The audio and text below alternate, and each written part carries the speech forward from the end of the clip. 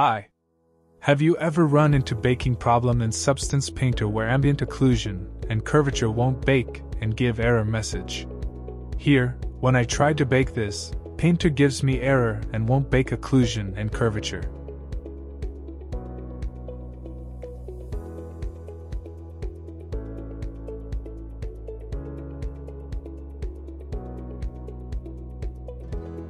Well, you can fix that in simple way. Go to Edit Settings. In Settings, under the General tab, simply uncheck the Enable GPU Ray Tracing. Now close it and bake again. That should resolve your problem.